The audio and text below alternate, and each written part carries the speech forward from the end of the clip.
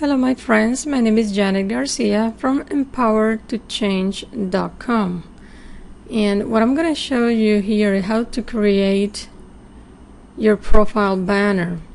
There are many different programs that you can use online that are free and will do the trick for you.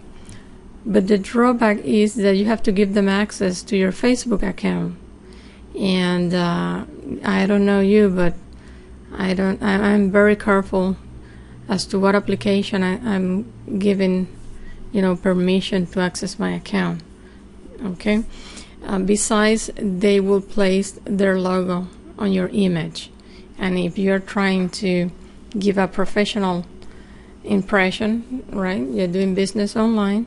It wouldn't look too good to have uh, a logo of another company embedded on your banner. If it's just for personal use, then there's no problem. But again, just be careful because you're giving access to your account and they can pull any of your private information from there. So let's go uh, to Pixlr. I'm going to use Pixlr. Uh, this is the address pixlr.com slash editor and that will bring you this uh, window. So we're going to create a new image. I'm going to click here. And for the size that I'm going to use for the banner is 491 pixels wide by 68 pixels height on the height okay and uh, I'm gonna click OK and here is the template that we're gonna use for the banner where you're gonna place all your image you're going to create whatever image that you want. So since Pixlr doesn't have any ruler like in Photoshop that you can drag a ruler um, and that would make everything easier because if you see here on Facebook there's a gap between images but the ones at the corner the gap is smaller than the ones in the middle okay and that's going to make a difference when when you're placing the items on your banner because you always want to try not to cut images. For example if it's a face you you don't want to have this seam right on the face. So we need to create like a template that you can use to guide yourself as, as not to place things in between the gaps okay as much as possible so for that, since we don't have a ruler, we're going to use the marquee tool as a guide. And each square has the size of 97 pixels wide. Okay, if you don't see this toolbar here, it's because it's off. You can go to view and click tool options and it will turn on. Okay, so to have our marquee or our selection constrained to the specific proportion that we need, we're going to select from here constrained to fixed size. Now we're going to enter the dimension of each little picture which is going to be 97 for the width and the height stays the same. So now what we're going to do, we're going to click on the corner and you see that it plays the marquee. Now, what we're gonna do, I'm gonna create, since I'm working on the background, and, and the background is a, an entire piece, I cannot move it around. So what I'm gonna do, I'm gonna create a new layer by clicking this icon here. And now I'm gonna fill this with a color. And for that, I'm gonna double click here to set the main color. Let's get uh, this pink and then move the saturation all the way to the right and click OK. Now to fill this I'm going to select the paint bucket tool and then I'm going to click inside the marquee. Now I can deselect the image. You can hit Ctrl D or you can go to Edit, Deselect All. And now nothing is selected. Now, since I have it on a layer, I can make duplicates for the other four, five pieces that I need. But first, I'm gonna select the move tool.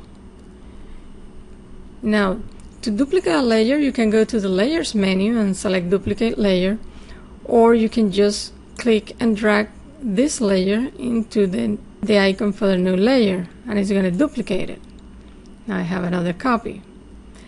Now what I'm going to do, I'm going to move this copy to the right. I can click anywhere because she's going to grab whatever is on the layer. You don't have to place the cursor right on top of the image. I can place it anywhere and I'm going to move it to the right like this now I'm going to make another copy of this one again the one on the top and I'm going to drag it again to the new layer and it created a, duplicate that is on top and I'm going to move it again to the side okay and I'm going to do the same thing again and I'm going to move it to the side don't worry about the spacing because we're going to fix that now. And one more time. And move it to the side. Now this one needs to align with the corner. Okay? Now notice that I don't have any gap right now. So what I'm going to do, I'm going to go backwards one layer at a time and with the arrow tools I'm going to move it to the left. And I have a little gap. That's one pixel wide. Then I'm going to click on the other one below and I move it I'm gonna move it to the right again. Then I'm gonna click on the other one and I'm gonna move it to the right I mean to the left again so now you see that I have a wider space here than on the corners just as our image on Facebook we have little gap here and it's bigger in the in the center now you can save this as a template. So what we're going to do is we're going to merge all this into one image and we're going to send it to the background. Okay. And for that we're going to go to the layers panel and we're going to select flatten the image and everything will be in just uh, one image as the background. If, if you choose merge down it's going to merge the selected layer with the one below, but we want them all in one piece. Now you can save this image because you can use it now as your template. So now that we have the image flattened, what we're going to do, I'm going to open another image that I already have. A banner that I created for a friend. And it's already flattened you can create your banner at this, the same size and then bring it into this template. That would be the best way to go. Create a banner. Don't worry about what the seams are uh, unless there is something that you don't want to cut out. Then you will just do it on top of of the uh, you know of the background image. So what I'm going to do, I'm going to drag this banner. And uh, I'm gonna position right there. Okay. Now I have the the background and this is the image of my friend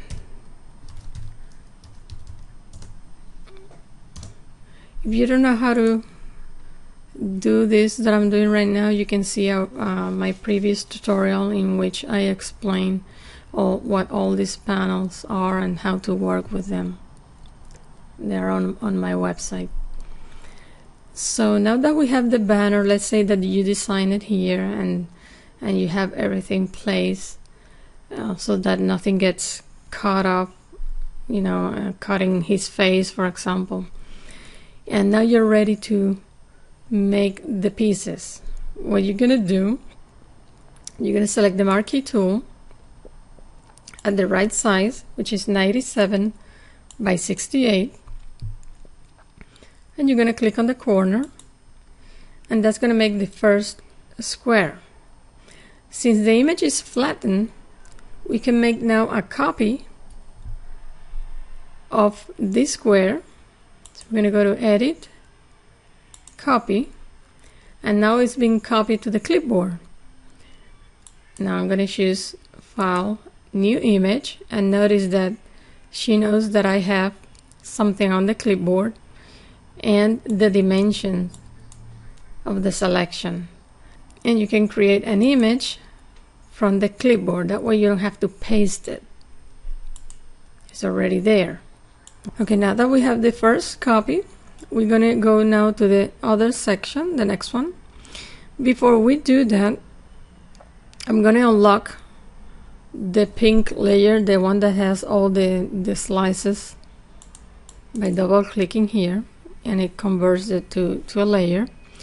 And I'm gonna move it on top okay? And that's so that I can see the the little squares now with the marquee tool still selected I'm gonna move this selection and position it right on top of the other pink square. And now that we have uh, our pink image on the top and we position the marquee we're going to turn off this layer, the visibility, and make sure that you click on the layer with your banner because that's the layer from where you want to copy from. For some reason, if I click here, even the visibility is off, this program is gonna copy the pink image instead. And it shouldn't. It shouldn't work that way. So what you have to do is click on your image now and then edit, copy, file, new image, create image from clipboard and click OK. Now we have the second image. Okay, that's the second image. Now we're going to do the same with the other one. Let's click on the file again to activate it let's make this one visible and you can leave this one selected and now let's move this selection and position it on top of the other square. Turn visibility off. Make sure that the banner is selected and repeat the process. Edit. Copy. File. New image. From clipboard. Click OK. This is the third one. Okay, repeat the process. Click on this image, move the marquee into position, turn it off, make sure you still have the banner selected, edit, copy, file, new image, create image from clipboard, and there's the other image. I am putting this on, in order on purpose. And you're gonna see why and let's go to the last image that we need. Okay. Edit copy file new image from clipboard and okay okay now we have all five images. Now you need to save them and the way you're going to save them, you can save them as JPGs, JPEGs. Is this is going to be number one, number two, number three, number four, and number five.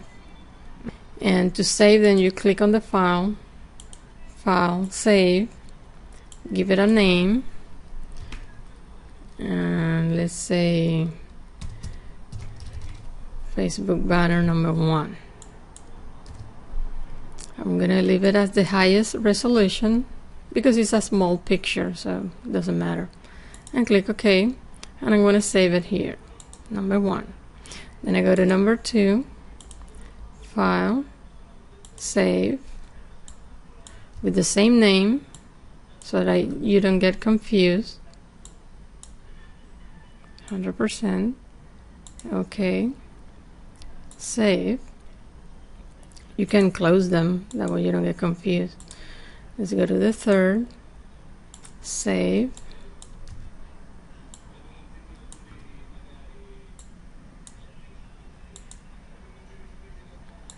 Okay. The fourth one. File. Save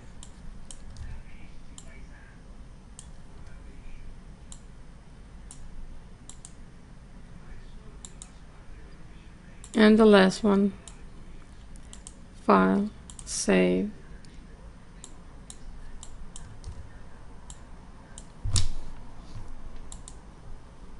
Okay. Now now that we have all the pictures now what you're gonna do is you go here to your profile and you're gonna upload here the photo one by one but it is very important that you upload you upload them backwards. You're gonna start with the fifth one then you go to the fourth one then the third the second and the first one. And the reason is that every time you upload a graphic it's gonna go into position one.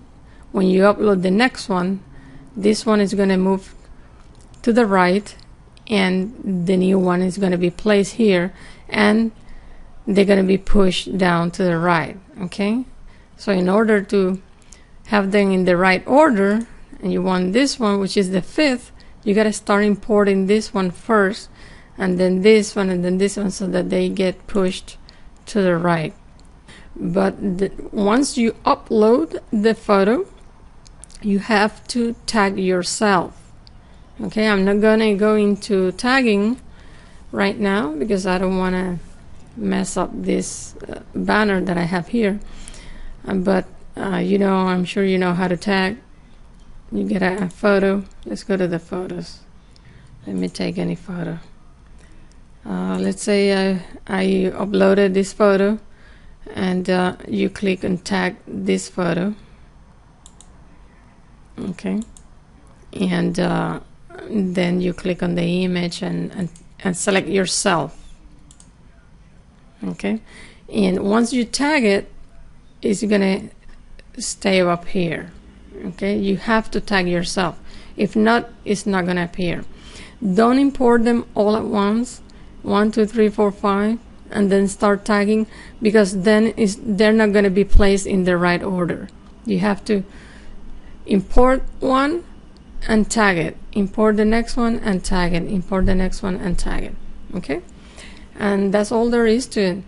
What I'm gonna do oh let me show you. Uh, my friend has the, the banner already. And here is the banner already imported. You see this is image number five number four number three number two and number one. Okay and that's all there is to it. I'm gonna give you this file. It won't have uh, obviously the banner. So I'm gonna give you this file so that you can use it as a template. You can find that on my website and you can just download it. Okay you can start using your banners. Thank you very much. This is Janet Garcia. Have a wonderful day